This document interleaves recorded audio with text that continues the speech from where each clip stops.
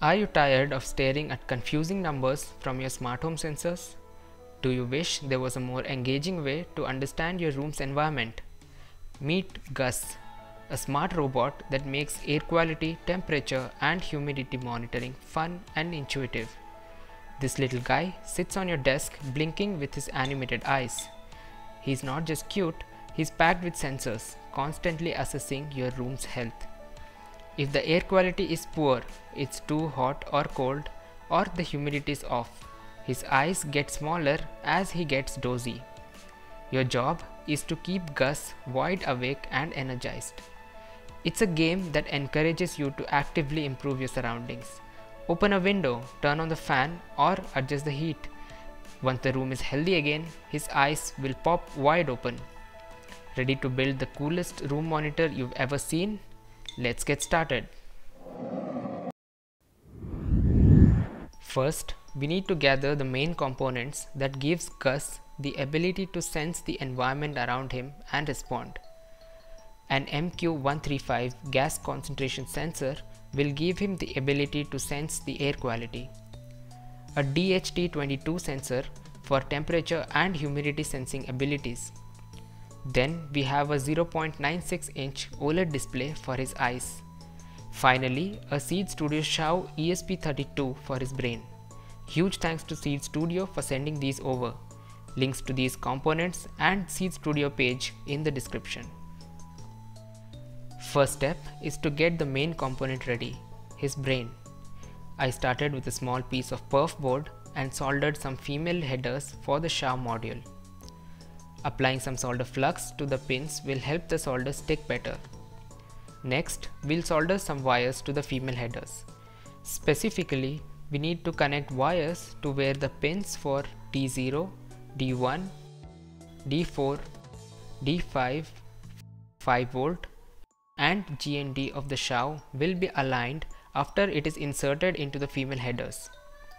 Once all the wires are soldered, it's time to push the XIAO into the female headers. I previously soldered male headers onto the XIAO. Next, it's time to test the OLED display and get a sneak peek at how Gus's eyes will look. To do this, we need to write some code to create two blinking ellipses on the display. But why stress when we've got ChatGPT? Just ask for the code you need, copy the generated snippet, paste it into the Arduino IDE and hit upload. Simple, right? Well, not exactly. There were errors. Even after asking it to fix the code multiple times, things only seemed to get worse. So, I decided to read the documentation for the display and write the code myself. Before uploading it to the XIAO, I tested it on an online simulator. After a bit of tweaking, it was starting to look pretty good. To test the OLED display, I plugged in a connector and connected the other end to the XIAO. The display uses I2C communication protocol, so we need to connect VCC to the 5V pin on the XIAO, GND to GND, SDA to D4 and SCL to D5. D4 and D5 are the SDA and SCL pins on the XIAO. Now we are ready to upload the code and give it a test run. Before we start building Gus's body, it's a good time to get the air quality sensor ready. If you check the documentation for the sensor, you'll notice that it suggests using a 20 kilo ohm load resistor. However, the actual sensor module comes with a 1 kilo ohm resistor. To fix this, I desoldered the 1 kilo ohm resistor and soldered two 10 kilo ohm resistors in series to replace it. Now we need to burn in the sensor. To do this, we'll plug it into a 5 volt power supply and leave it running for at least 24 hours. You see these sensors have a heating element and a sensing material typically made of tin oxide. Over time, impurities and moisture can build up on the sensing material affecting its performance. By leaving it powered on for an extended period, the heating element warms up the sensing material helping to burn off any impurities and moisture. It's also a good idea to place the sensor in a well ventilated area during this time to ensure good airflow and help clean the sensing material. For making Gus's head, I'm using foam board. First, I marked a 5 cm by 5.5 cm rectangle on a small piece of 5 mm thick foam board. This will be his face. Then I cut out more rectangular pieces to build the full head giving it a cuboid shape. Next, I cut a section out of the face for the OLED display, making sure the cut is slightly larger than the display itself.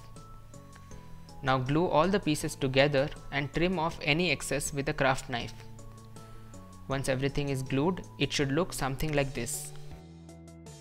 For the body, I made a smaller cube using the same method, making sure it's big enough to fit the XIAO board we just soldered.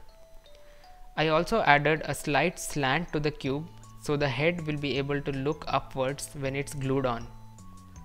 For the legs, I created L-shaped sections from 5mm thick board. You'll need 3 of these for each leg to make them thick enough. Looks great doesn't it? Now for the eye section, I cut a piece of plexiglass to match the size of the cutout on the face. Next, apply a rectangular piece of masking tape on one side of the plexiglass, making sure it's the exact same size as the OLED display. Once that's done, we can paint the entire thing with black acrylic paint. Just be sure the masking tape is securely pressed down and doesn't shift while you paint. While that's drying, paint the edge of the eye section as well as the inside of the head black. This will help prevent any reflections when the eyes light up. I also painted the entire body white to cover up any seams and leftover pencil markings. Now we can leave all this to dry overnight. After letting it to sit for 24 hours to burn in, we can connect female jumper wires to the VCC, GND and analog out pins of the air quality sensor and then connect the corresponding wires to the XIAO. Before uploading the code, we need to calibrate the sensor. You can find detailed steps and all the codes used in this project right below the like button. Once calibrated, upload this code to get the air quality index in ppm. The corrected ppm value is what we are looking for. Yup, the air quality is pretty bad where I live. Next, we repeat the same steps to test the humidity and temperature sensor. This one doesn't require any calibration. Just upload the code and the humidity and temperature values should start displaying right away. Great, now that all sensors are tested, it's time to assemble everything. I started by sticking the OLED display right behind the cutout on the face using double-sided foam tape. The screw hole was sticking out so I carefully trimmed it off with pliers. Peel off the masking tape from the painted plexiglass and stick it in front of the cutout with glue. I also made two foam board discs for his ears. Next, I attached the XIAO board inside the small body using more double-sided tape. I earlier made a cutout to let the USB-C cable in. For the head, I made a back plate from the same 5mm thick foam board and created cutouts for the sensors. I placed the sensors in the spots and then connected all the wires. You can find the wiring diagram in the description. I then used electrical tape to secure the connections and prevent any shorts. Finally, I glued all the body parts together. Now, connect a USB-C cable to the XIAO and upload the main code. If you'd like to understand how the code works, you can find the details in the link in the description. Sometimes you might get an error while uploading the code to the XIAO.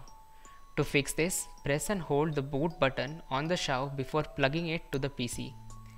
Keep holding the button while you plug it in and once the upload window says connecting, release the button. The code should upload successfully. You might want to do this before sticking the XIAO inside the body. As soon as the code is uploaded, the eyes should light up on the display. Gus looks absolutely amazing with those animated eyes randomly blinking. And now thanks to the sensors, his eyes will reflect his mood based on the surrounding conditions. Honestly, I think the foam board body looks a bit unfinished and I'll prefer a 3D printed body instead. I'm also planning to upgrade Gus with more features like a touch sensor on his head. You'll be able to touch his head to show the sensor values in place of his eyes when you want to know more. Also a light sensor can be added so Gus can get gloomy on cloudy dark days. And of course I plan to 3D print him a much better looking body. Make sure you're subscribed so you don't miss that video. Thanks for watching and I'll see you in the next one.